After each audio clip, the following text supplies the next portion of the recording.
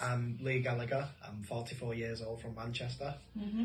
I ran my own construction company for the last 15 years. Mm-hmm. Um, and then I had the opportunity um, through First to Achieve to be qualified in what I do.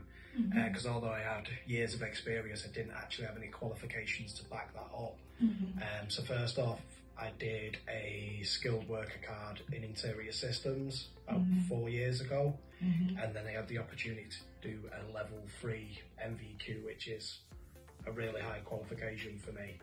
Yeah. Um, after I'd passed my level three, I was given an opportunity to change work altogether and come off the tools, which was brilliant.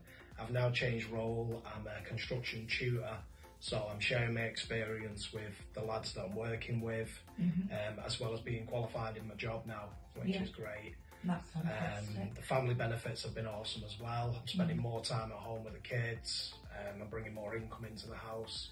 When you work on site, you're very task orientated. I need to fill this, I need to build this, I need to do that. Whereas a level three course actually breaks down um, more of bigger picture stuff like work scheduling, um, seeing problems before they arrive. Um, it just helps you become a better builder, basically. Absolutely. I, honestly, I can't thank you enough for the opportunities you've given me in life.